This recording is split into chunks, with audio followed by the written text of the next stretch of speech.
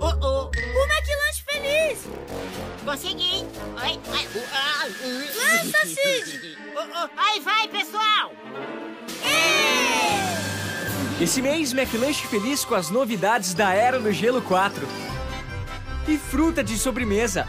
McLanche feliz. Alguém quer fruta? Sempre uma gostosa diversão.